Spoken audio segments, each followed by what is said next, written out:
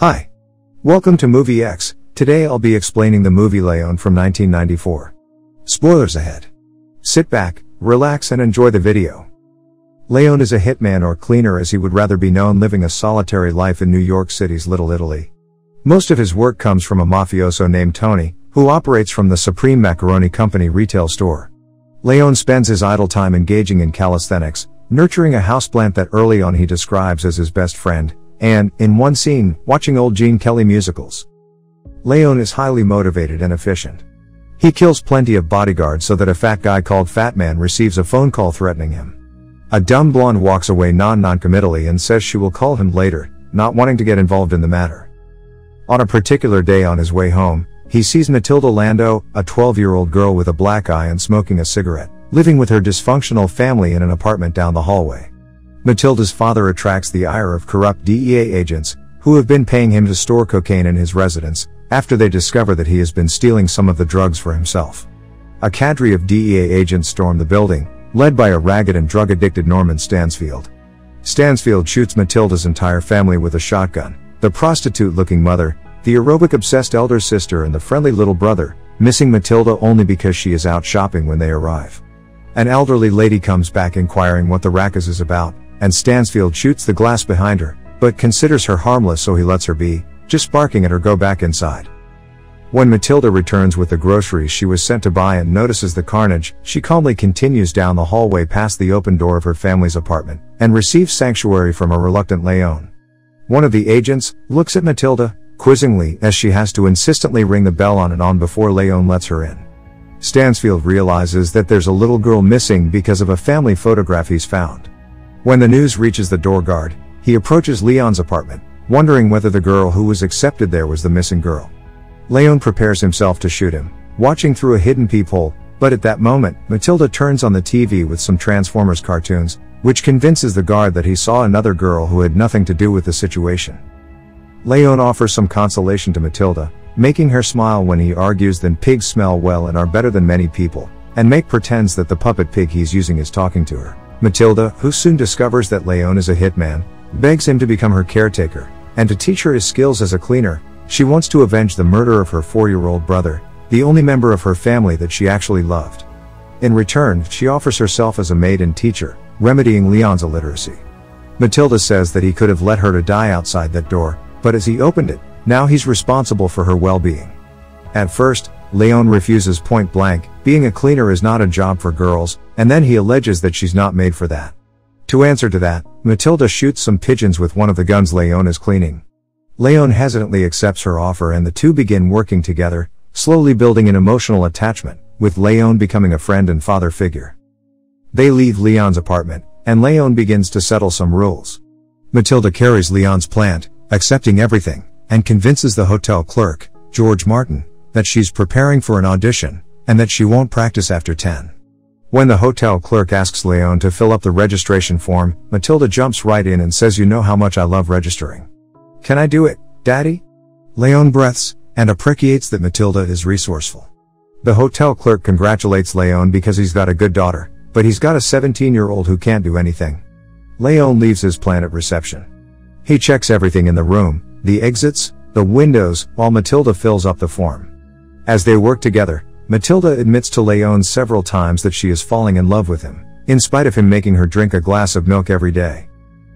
Tony has been keeping Leon's money, instead of it being put into a bank. As Leon was illiterate, he didn't want to have to deal with it.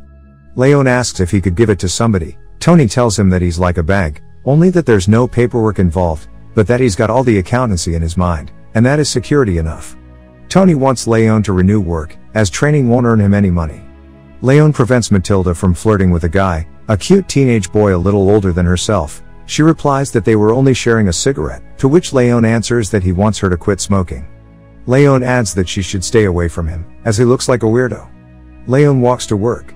Mathilda tells the hotel clerk that she's fed up of practicing her instrument and that Leon is not her father, but her lover. Mathilda walks back to her old flat. She slips past a police guard and picks up a teddy bear and a stack of bills hidden under a loose floor plank. She has to hide, because the FBI is questioning Stansfield, who is being a jackass about the people he killed in the line of duty. He shouts to the FBI guy that kids should be at school, and also shouts his office number. Mathilda follows Stansfield by taxi to the police station. Mathilda is watching cartoon Transformers again when Leon arrives with blood dripping down an arm and a pink dress for her. The hotel clerk arrives with two men, and throws Leon and Mathilda out. In another hotel, Leon takes a shower and stitches a wound in the chest, where he's been hurt. Mathilda wants to pay Leon to kill her brother's killers, but Leon doesn't want to. He tells her that life changes after the first time you kill somebody. She wants to play Russian roulette with him. She threatens him with killing herself and at the last second he pushes the pistol away. Mathilda and Leon go talk with Tony. As Mathilda increases her confidence and experience, she locates Stansfield, follows him to his office in the DEA building. She attempts to kill him, only to be ambushed by Stansfield in a bathroom. Leon finds a note she left him declaring her intentions and rushes to the federal building. He rescues her, killing two of Stansfield's men in the process. Stansfield is enraged that the Italian hitman has gone rogue and is killing his men. He confronts Tony and threatens him, eventually beating him into surrendering Leon's whereabouts.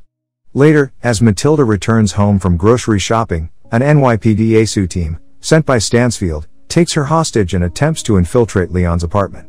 Leon ambushes the ASU team and takes one of their members hostage, rapidly bartering him for Mathilda's freedom. As they slink back into the apartment, Leon creates a quick escape for Mathilda as he reassures her and tells her that he loves her moments before they come for him. In the chaos that follows, Leon sneaks out of the apartment building disguised as a wounded ASU officer, almost unnoticed except for Stansfield. Stansfield follows Leon into the hotel lobby and shoots him from behind. Looming over the dying Leon, Stansfield jeers him haughtily. However, just before he gives out, Leon places an object in Stansfield's hands, which he explains is from Mathilda. Opening his hands, Stansfield recognizes it as grenade pin. He rips open Leon's vest to discover several grenades on his chest. Stansfield lets out a brief oh shit before a massive explosion destroys the hotel lobby. Mathilda heads to Tony's place as she was instructed to do by Leon.